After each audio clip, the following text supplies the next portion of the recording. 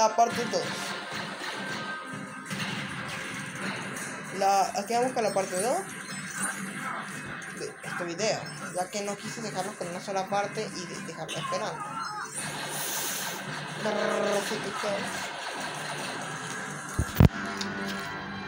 Ni que lo